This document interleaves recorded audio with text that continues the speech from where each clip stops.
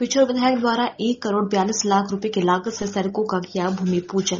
पिछोर क्षेत्र विधायक प्रीतम सिंह लोधी द्वारा दिनांक 16 सितंबर 2024 को अपने क्षेत्रीय भ्रमण कार्यक्रम के दौरान एक करोड़ बयालीस लाख रुपए के विकास कार्यों का भूमि पूजन किया गया। जानकारी के अनुसार पिछोर विधायक द्वारा स्वीकृत विकास कार्यो का भूमि पूजन पिछोर विधानसभा के ग्राम पंचायत महोबा डामरोन के ग्राम महोबा से इमलिया की ओर बनाई जाने वाली सड़क, जिसकी दूरी तीन दशमलव पाँच शून्य किलोमीटर है, इस सड़क को स्वीकृत कर तिरसठ लाख रूपए है। इसका भूमि पूजन आज विधायक प्रीतम सिंह लोधी द्वारा समस्त ग्राम वासियों और क्षेत्र के जनता के बीच किया गया। वहीं दूसरी ओर, पिपारा से कुंडलपुर की ओर जाने वाली सड़क की दूरी दो किलोमीटर है, जिसकी स्वीकृति राशि अड़तीस लाख रूपए है। इसके साथ साथ ग्राम पंचायत भरतपुर इमलिया में भी सड़क निर्माण हेतु भरतपुर से इमलिया की ओर जाने वाली सड़क की कुल दूरी दो किलोमीटर है, जिसकी लागत इकतालीस लाख रूपए है। इन सभी सड़कों का भूमि पूजन आज विधायक द्वारा किया गया। विधायक द्वारा बताया गया कि किसी भी गाँव को विकास के मामले में पीछे नहीं रहने दूँगा,